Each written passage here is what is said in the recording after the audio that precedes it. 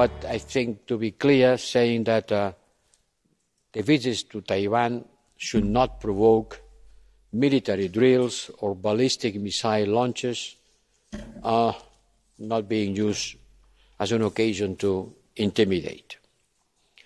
Certainly, China has been toughening its stance on Taiwan.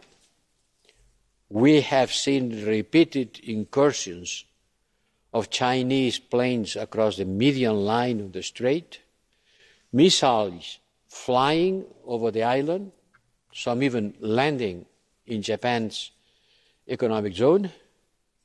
China has also issued a new white paper on Taiwan, which certainly changes certain parameters for an eventual reunification process.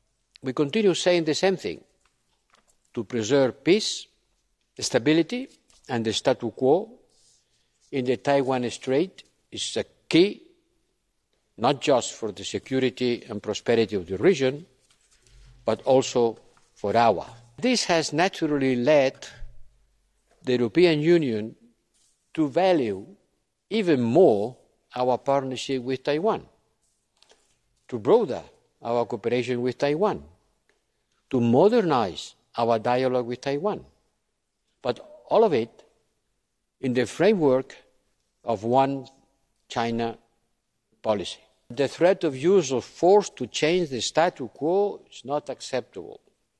That the statu quo has to be preserved and is therefore key to manage tensions in a way that there is not an open conflict.